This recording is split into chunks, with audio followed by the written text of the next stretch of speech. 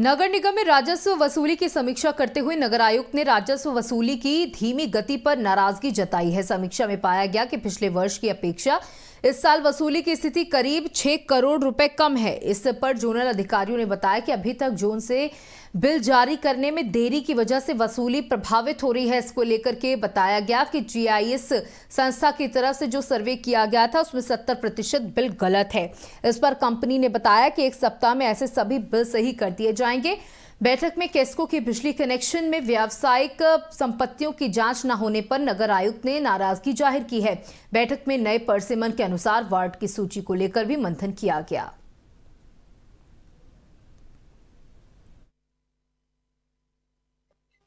जी, आज जो हमारा टैक्स कलेक्शन है उसके संबंध में सभी अपर नगर आयुक्त और जोनल ऑफिसर्स और पीएस को हम लोगों ने समीक्षा किया है और, जो इस साल, जो दो हज़ार चौबीस पच्चीस के लिए एक रणनीति के तहत हम लोग ये कोशिश करेंगे कि पिछले साल जितना हमारा रेवेन्यू कलेक्शन हुआ है उससे ज़्यादा हो और इस बार हमारी फोकस ये होगा कि अरियर्स पे हम कवर करें और जो हमारा जो टैक्स कवरेज है जो पिछले साल लगभग साठ परसेंट के करीब रहा उसको हम लोग सौ परसेंट तक ले जाए।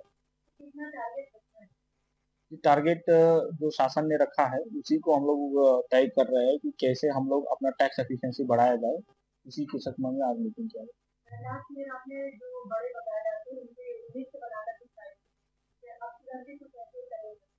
जी उसी संबंध में हम लोगों ने मीटिंग किया कि कैसे और एग्रेसिवली हम लोग लोगों को सेल्फ कंप्लायंस की तरह मतलब बिहेवियर चेंज लाए और टैक्स